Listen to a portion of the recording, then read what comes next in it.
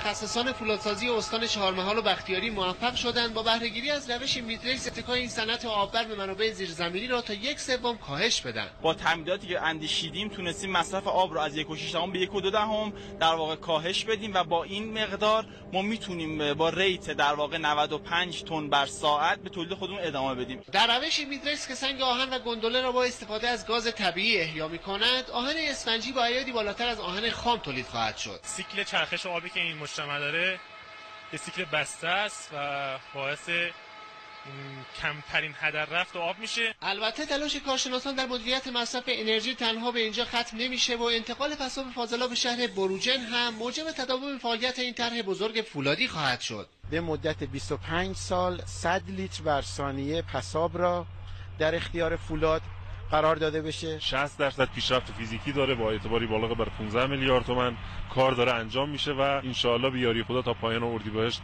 به بهره برداری می‌رسه. آب خاکستری که به مجتمع فولاد سفیدش برسه چهارمحال و بختیاری را پس از استانهای قم یزد و اصفهان به چهارمین استان پیشرو در استفاده از پساب فاضلاب شهری تبدیل خواهد کرد. تمامی آب مورد نیاز این واحد صنعتی بزرگ که صنعت مادر استان محسوب میشه از محل پساب تامین خواهد شد. بهرهگیری از روش میتکس در کنار بازسرخانی پساب فاضلاب شهری علاوه بر قطع وابستگی تولید آهن به منابع زیرزمینی ظرفیت تولید فولاد در این مجتمع رو از مرز یک میلیون تن فراتر خواهد برد. به هیچ عنوان ما قطره ای از منابع آب شرب در واقع استان رو مصرف نخواهیم کرد. این صرفا آب آب پساب شهری هست که دورریز هست.